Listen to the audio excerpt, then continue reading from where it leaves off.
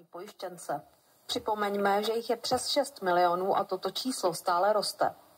Proti výdajům je nutné najít odpovídající příjmy. Nejlépe nějaké nové, protože vzkvétající ekonomika, které se nedočkáme ani na přes rok, je nepřinese. Současně nesmí jít o žádnou skutečnou daňovou reformu, protože budou volby a to se daně plošně zvyšovat nesmí. Dočkáme se krvavých diskuzí na tak zásadní téma, zda zdaňovat sladké nápoje či nikoliv.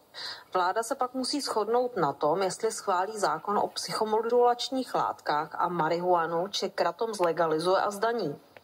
Nebo jestli má pocit, že je lepší, když se z národa stanou nedanění, ale legální pěstitelé čehokoliv, z čehož rozpočet nebude mít absolutně nic.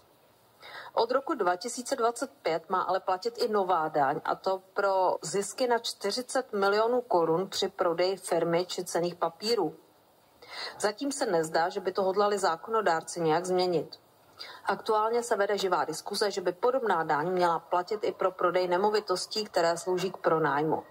Rozpočet na rok 2025 bude rozhodně zajímavý, i když bude v létě jeho příprava ochuzená o obecenstvo. O to víc si pak veřejnost vychutná nejen každý letní informační únik, ale hlavně podzimní projednávání ve sněmovně.